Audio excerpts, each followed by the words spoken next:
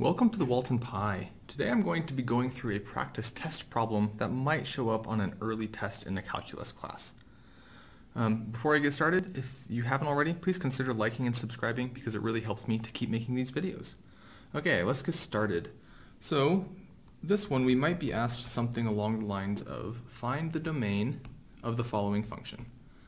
So find the domain of f of x equals the square root of 5 minus 2x divided by x minus 2 times x plus 7. Okay, now go ahead, try this problem on your own, and see if you can figure out what the domain is. Okay, if you haven't paused it and tried this problem on your own, I encourage you to do so, but let's go through and try and figure out what we would do. So remember, there's three things that we are not allowed to ever do when we're finding the domain. We cannot divide by 0. So you cannot have 0 on the denominator. So any number divided by 0, that's a no-go. We also cannot do the square root of a negative number. We can do the square root of 0, and we can do the square root of positive numbers, but we can't do the square root of a negative number. And then the last one is we can't do a logarithm of a negative number or of 0. So those are the two things that we cannot do a logarithm of, and you might also see this written as the natural log of a number or zero. So those are the three things that are going to cause a problem with our domain. So in this problem, do we have any of those sorts of situations? Well, we do. We have sometimes when we're dividing by 0 when either x minus 2 is 0 or x plus 7 is 0.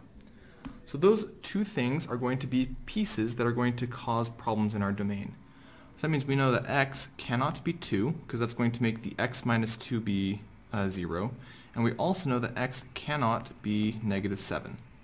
So those are the two things that we cannot have in order to allow us to still have division. Now the other piece is we also have a square root that's showing up. So that means we need 5 minus 2x that has to always be greater than or equal to 0. So we need those to be true, and so how can we go through and solve this? Well, we can add 2x to both sides. So we add those and we get 5 has to be greater than or equal to 2x. And then we can divide both sides by 2 and say that 5 halves has to be greater than or equal to x. Okay, so how do we put all three of these pieces together to give us our domain? Well, what we can do is we can go through each piece and put them all together as one big thing.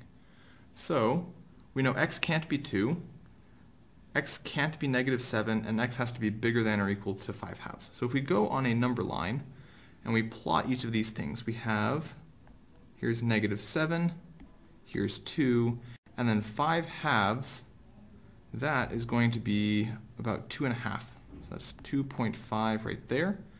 So we know that we can't have it be 2, so we have a hole there. It can't be at negative 7, so we have a hole there.